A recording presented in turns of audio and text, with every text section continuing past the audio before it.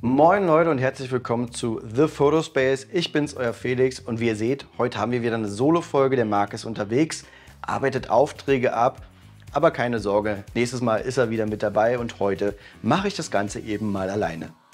Heute soll es um die Actionfotografie gehen und was heißt es überhaupt? Ich habe das einfach mal als Sammelbegriff genommen für alles, was sich bewegt, wo eben Action im Bild ist und möchte euch fünf Tipps an die Hand geben, wie ihr sowas am besten fotografiert. Als allererstes kommen wir zur Kamera. Grundsätzlich kann ich fast mit jeder Kamera Action einfangen, aber ein paar Punkte sind wichtig, was ihr an der Kamera einstellen solltet. Zum einen solltet ihr im M- oder im S-Modus arbeiten. Das heißt, ihr sollt die Kontrolle über die Verschlusszeit haben. Denn die Verschlusszeit ist sehr wichtig für die Actionfotografie. Ihr wollt ja Bewegung einfrieren und deswegen solltet ihr, je nachdem wie schnell sich das Objekt bewegt, mit mindestens einer Tausendstel Sekunde oder kürzer arbeiten. Und gerade wenn ihr im M-Modus arbeitet und eben dann auch noch die Kontrolle über die Blende habt, dann könnt ihr die Kamera gerne in die ISO-Automatik stellen. Das heißt, die Kamera wählt die passende ISO, um die richtige Belichtung einzustellen. Ist immer von Vorteil, wenn ihr unter schlechten Lichtbedingungen arbeitet und wollt euch aufs Geschehen konzentrieren, dann macht die Kamera eben den Rest, wenn ihr die ISO-Automatik anhabt. Der dritte Punkt, was die Kamera können sollte, ist eine Serienbildfunktion. Das heißt also, die Kamera macht pro Sekunde mehrere Auslösungen, solange ihr den Auslöser gedrückt haltet und fängt eben den besten Moment ein. Kleiner Tipp an der Stelle, mittlerweile können die Kameras echt schnell hintereinander auslösen, also so 20 Bilder pro Sekunde sind kein Einzelfall mehr. Ihr müsst aber nicht immer so hohe Bildwiederholzahlen haben. Einfach aus dem Grund, ihr müsst ja später das Ganze auch sortieren und selektieren. Und deswegen würde ich euch immer raten, je nach Sportart, so schnell wie nötig so langsam wie möglich. Also es reichen manchmal auch schon drei Bilder pro Sekunde oder fünf Bilder pro Sekunde, um das perfekte Bild hinzukriegen. Und dann habt ihr am Ende nicht so viel Ausschuss, den ihr letztendlich einfach wieder löschen müsst. Zweiter Punkt, die Objektive. Was nehme ich am besten? Es klingt immer ein bisschen von der Sportart oder von dem Motiv ab, was ihr fotografieren wollt. Gerade wenn ihr nicht so nah ans Objekt ran könnt, was bei vielen Sportarten der Fall ist, dann natürlich braucht ein Teleobjektiv teilweise 200 mm und mehr. Ihr könnt aber manchmal auch einen Weitwinkel verwenden, gerade wenn ihr nah dran seid, wenn es Sportarten sind, wo ihr direkt beim Athleten seid oder wenn es Objekte sind, wo ihr wirklich dicht dran könnt. Der Vorteil ist, wenn ihr einen Weitwinkel verwendet, dann wirkt es so, als ob ihr mitten im Geschehen seid auf den Betrachter. Ne? Also die Action verdichtet sich nochmal. Der Vorteil von Teleobjektiven natürlich, ihr habt eine geringe Tiefenschärfe, ihr stellt das Objekt frei, kennt ihr von Fußballbildern oder anderen Sportarten, wo also wirklich der Hintergrund schön und scharf ist.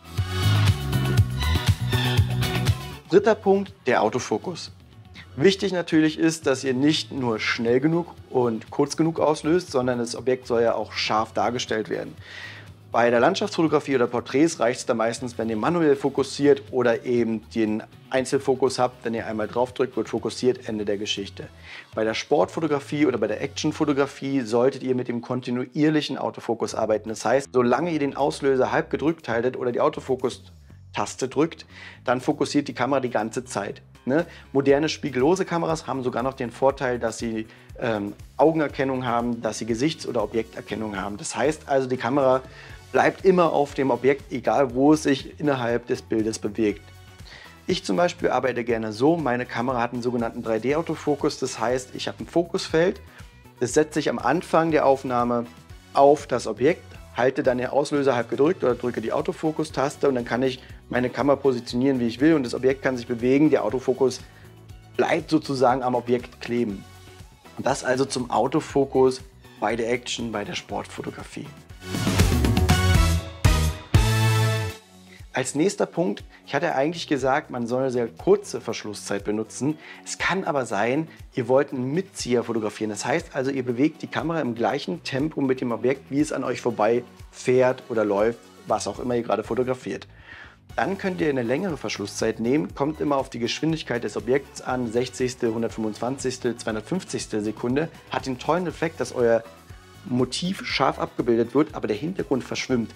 Ich blende da vielleicht mal ein paar Bilder ein, habt ihr bestimmt schon mal gesehen. Ja, das also zum Mitzieher. Und als letztes kommen wir zu den Motiven. Ich habe ja schon viele Sachen genannt, also klar, alles was Sport ist, hat meistens mit Action zu tun, wenn ihr nicht gerade Schach fotografiert.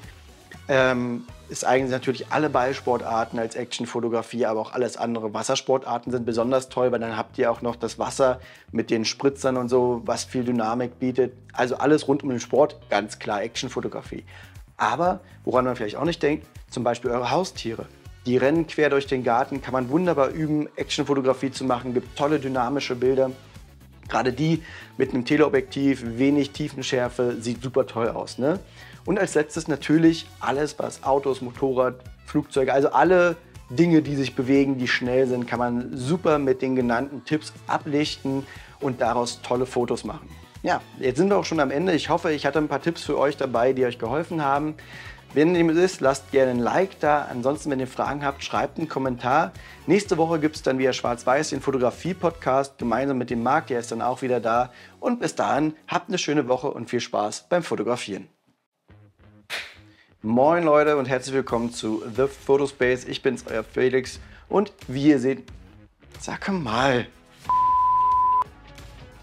was ist noch zu sagen zu den Kameraeinstellungen? Ich hatte ja schon gesagt, dass ich keine Ahnung habe.